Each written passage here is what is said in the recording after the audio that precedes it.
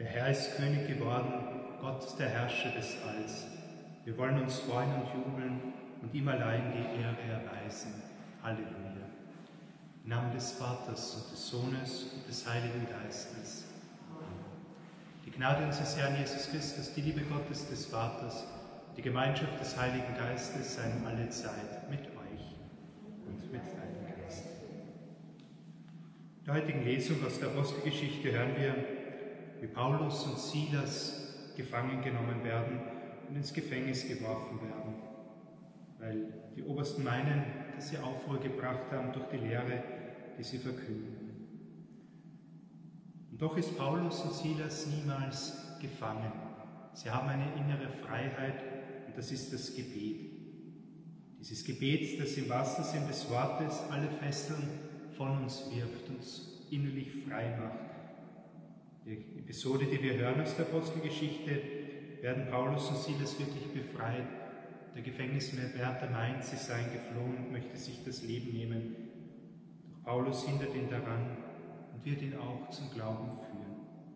Ein Glaube, der in uns Kraft auch schenkt, der uns die Gewissheit gibt, dass alles möglich ist in dem, der auf Gott vertraut und der den Beistand erfahren darf, den Jesus im Evangelium uns verspricht und verkündet.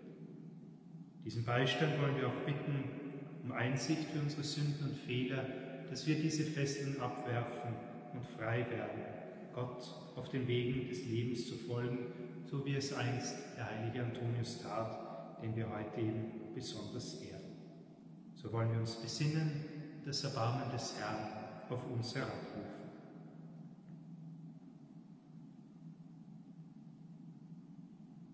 Ich bekenne Gott dem Allmächtigen und allen Brüdern und Schwestern, dass ich Gutes unterlassen und Böses getan habe.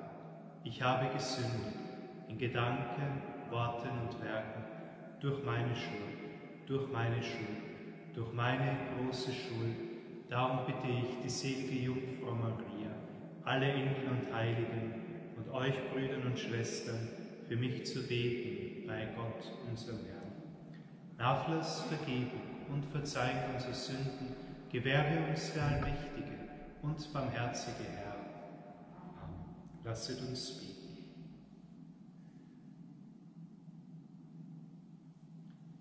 Allmächtiger Gott, lass die österliche Freude in uns fortdauern, denn du hast deiner Kirche neue Lebenskraft geschenkt und die Würde unserer Gotteskindschaft in neuem Glanz erstrahlen lassen. Gib, dass wir den Tag der Auferstehung voll Zuversicht erwarten, als einen Tag des Jubels und des Dankes. Darum bitten wir durch Jesus Christus, deinen Sohn, unseren Herrn und Gott, der in der Einheit des Heiligen Geistes mit dir lebt und herrscht in alle Ewigkeit. Amen. Lesung aus der Apostelgeschichte. In jenen Tagen erhob sich das Volk von Philippi gegen Paulus und Silas, und die obersten Beamten ließen ihnen die Kleider vom Leib reißen und befahlen sie mit Hunden zu schlagen. Sie ließen ihnen viele Schläge geben und sie ins Gefängnis bringen. Dem Gefängniswärter befahlen sie, sie in sicherem Gewahrsam zu halten. Auf diesen Befehl hin warf er sie in das innere Gefängnis und schloss zur Sicherheit ihre Füße in die Blöcke. Um Mitternacht beteten Paulus und Silas und sangen Hoblieder. Und die Gefangenen hörten ihnen zu. Plötzlich begann ein gewaltiges Erdbeben, so dass die Grundmauern des Gefängnisses wankten. Mit einem Schlag sprangen die Türen auf und allen fielen die Fesseln ab. Als der Gefängniswärter aufwachte und alle Türen des Gefängnisses offen sah, zog er sein Schwert, um sich zu töten denn er meinte, die Gefangenen seien entflohen. Da rief Paulus laut, tu das nicht dir an, wir sind noch alle da. Jener rief nach Licht, stürzte hinein und fiel Paulus und Silas zitternd zu Füßen. Er führte sie hinaus und sagte, ihr Herr, was muss ich tun, um gerettet zu werden? Sie antworteten, glaube an Jesus den Herrn, und du wirst gerettet werden, du und dein Haus. Und sie verkündeten ihm und allen in seinem Haus das Wort Gottes. Er nahm sie in jener Nachtstunde bei sich auf, wusch ihre Striemen und ließ sie sogleich mit allen seinen Angehörigen taufen. Dann führte er sie in seine Wohnung hinauf, ließ ihnen den Tisch decken und war mit seinem ganzen Haus voll Freude, weil er zum Glauben an Gott gekommen war. Wort des lebendigen Gottes. Herr, deine Rechte hat mir geholfen. Herr, deine Rechte hat mir geholfen. Ich will dir danken aus ganzem Herzen, dir vor den Engeln singen und spielen. Ich will mich niederwerfen zu deinem heiligen Tempel hin und deinen Namen danken für deine Huld und Treue. Daher deine Rechte hat mir geholfen. Denn du hast die Worte meines Mundes gehört, deinen Namen und dein Wort über alles verherrlicht. Du hast mich erhört am Tag, als ich rief, und du gabst meiner Seele große Kraft. Herr, deine Rechte hat mir geholfen. Du streckst die Hand aus gegen meine wütenden Feinde, und deine Rechte hilft mir. Der Herr nimmt sich meiner an, Herr, deine Huld wird ewig. Lass nicht ab vom Werk deiner Hände. Herr, deine Rechte hat mir geholfen.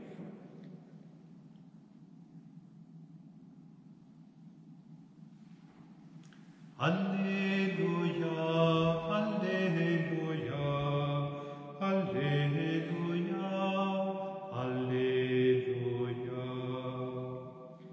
Ich werde den Geist der Wahrheit zu euch senden. Er wird euch in die ganze Wahrheit führen. Halleluja, Halleluja, Halleluja, Halleluja. Der Herr sei mit euch. Aus dem heiligen Evangelium nach Johannes. Ehre sei dir, o Herr. In jener Zeit sprach Jesus zu seinen Jüngern, Jetzt gehe ich zu dem, der mich gesandt hat, und keiner von euch fragt mich, wohin gehst du? Vielmehr ist euer Herz voll Trauer, weil ich euch gesagt habe, weil ich euch das gesagt habe.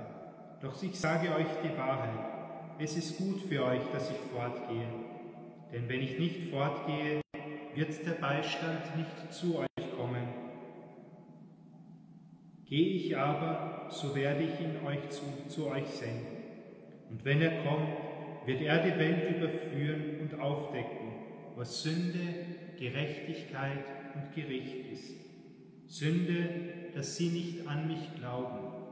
Gerechtigkeit, dass ich zum Vater gehe und ihr mich nicht mehr seht. Gericht, dass der Herrscher dieser Welt gerichtet ist. Evangelium unseres Herrn Jesus Christus. Lob sei dir, Christus. Jesus gelangte durch Leid und Tod in seine Herrlichkeit, zu ihm rufen wir. Bewahre deiner Kirche die österliche Freude. Wir bitten dich, erhöre uns. Führe die Regierenden zu gerechten Entscheidungen. Wir bitten dich, erhöre uns. Lass die Trauernden deine Nähe erfahren. Wir bitten dich, erhöre uns. Erneuere unsere Zuversicht, in deine Herrlichkeit zu gelangen. Wir bitten dich, erhöre uns. Wollen wir auf die Fürsprache des heiligen Antonius, Gott den Herrn auch für all die Medizin- und Wissenschaftler bitten, dass möglichst bald Medikamente und auch ein Impfstoff gegen das Coronavirus gefunden werden mögen. Wir bitten dich, erhöre uns. Wollen wir auch für uns selbst bitten, um unseren Glauben, um die Fähigkeit, wirklich immer unaufhörlich zu beten und Gott im Vertrauen zu begleiten und ihm zu folgen. Wir bitten dich, erhöre uns. Allmächtiger Gott, du erhörst uns, wenn wir zu dir rufen.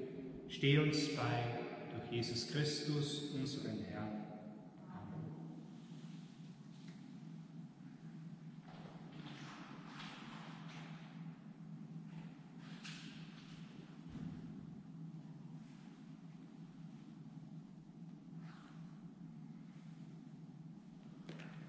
Gepriesen bist der Herr, unser Gott, Schöpfer der Welt. Du schenkst uns das Brot, die Frucht der Erde und der menschlichen Arbeit. Wir bringen dieses Brot vor dein Angesicht, damit es uns das Brot des Lebens werde. Gepriesen bist du in Ewigkeit, Herr, unser Gott.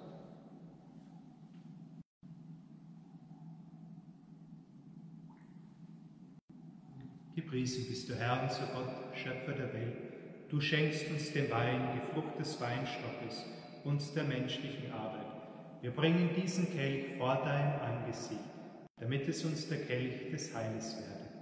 Gepriesen bist du in Ewigkeit, Herr, unser Gott.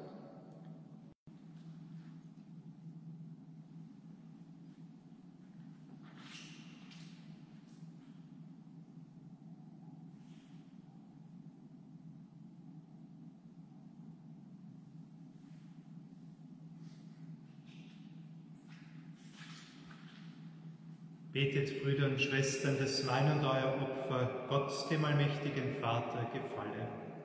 Der Herr nehme das Opfer an aus meinen Händen, zum Lob und Ruhme seines Namens, zum Segen für uns und seine ganze heilige Kirche.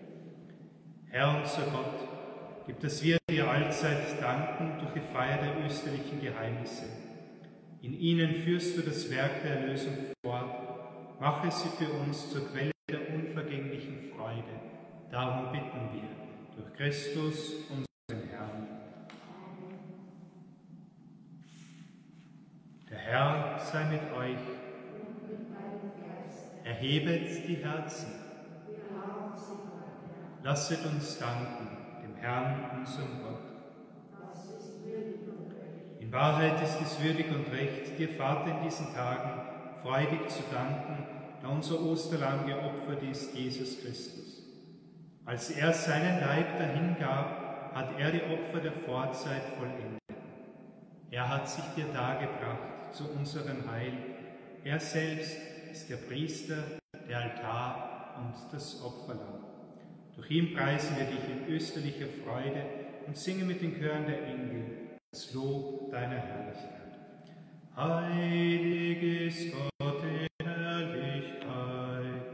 Sein Ruhm erfüllst dich immer Lob singe, jubel dem Hosanna.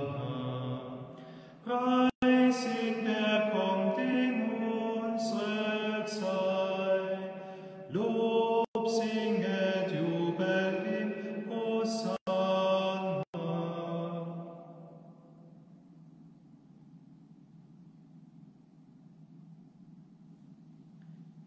bist heilig, großer Gott. Du bist der Quell aller Heiligkeit. Darum bitten wir dich. Sende deinen Geist auf diese Gaben herab und heilige sie, damit sie uns werden, Leib und Blut deines Sohnes, unseres Herrn Jesus Christus.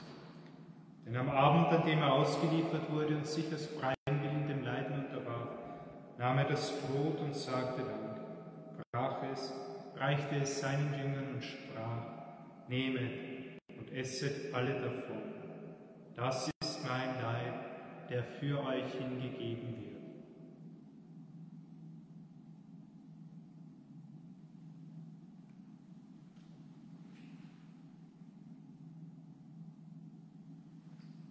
Ebenso nahm er nach dem Mahl den Kelch, dankte wiederum, reichte ihn seinen Jüngern und sprach, Nehmet und trinket alle daraus, das ist der Kelch des neuen und ewigen Bundes, mein Blut, das für euch und für alle vergossen wird, zur Vergebung der Sünden.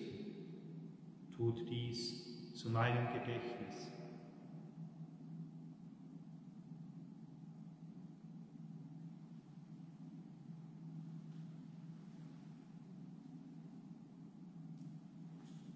Geheimnis unseres Glaubens. Deinen Tod, o Herr, verkünden wir und deine Auferstehung preisen wir, bis du kommst in Herrlichkeit. Darum, gütiger Vater, feiere das Gedächtnis des Todes und der Auferstehung deines Sohnes und bringen dir so das Brot des Lebens und den Kelch des Heiles dar.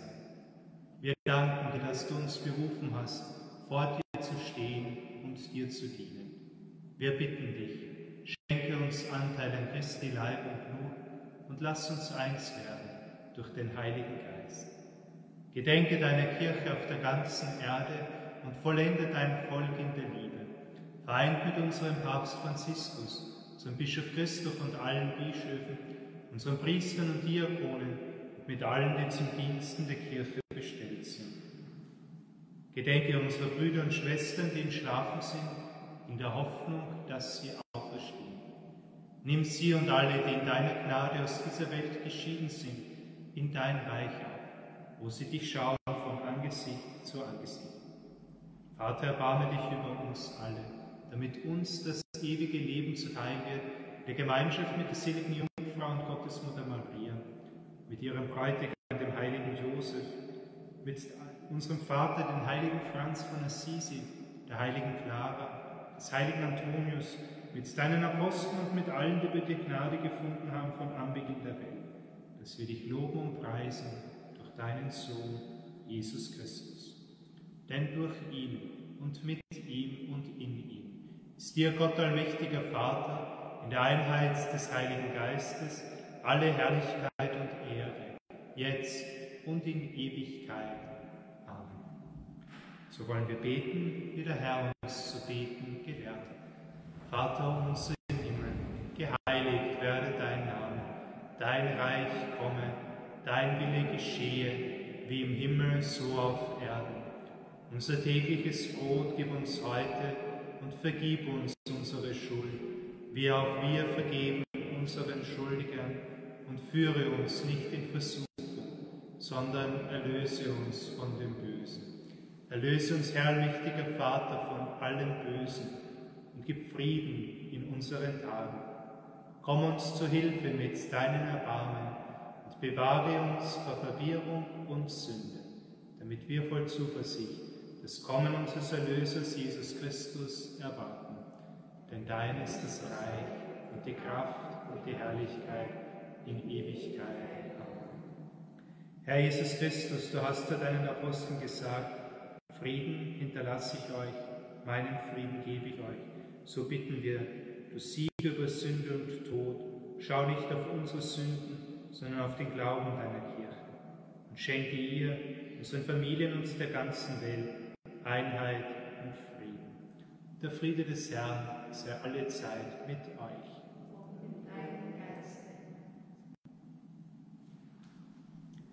Lamm Gottes, du nimmst hinweg die Sünde der Welt, erbarme dich unser. Lamm Gottes, du nimmst hinweg die Sünde der Welt, erbarme dich unser. Lamm Gottes, du nimmst hinweg die Sünde der Welt, gib uns deinen Frieden.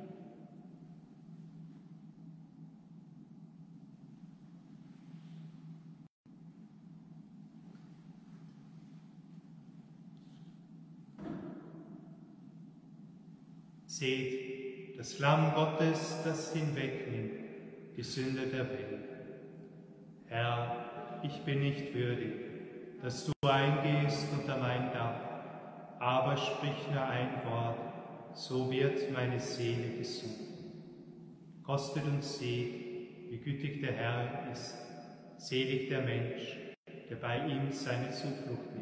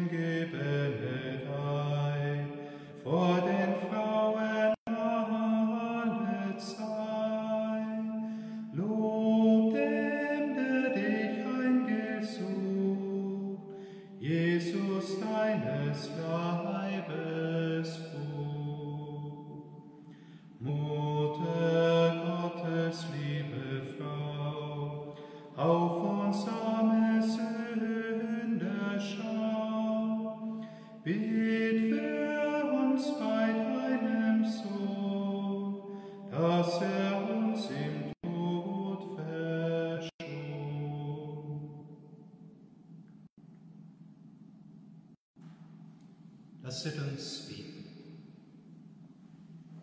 Gütiger Gott, durch das Werk der Erlösung hast du unsere Schuld getilgt und uns deine Gnade geschenkt. Die Feier der Geheimnisse Christi stärke uns in diesem Leben und schenke uns die ewige Freude. Darum bitten wir durch Christus, unseren Herrn. So wie es üblich ist, wollen wir jeden Dienstag diesmal wieder gemeinsam eine Antoniansandacht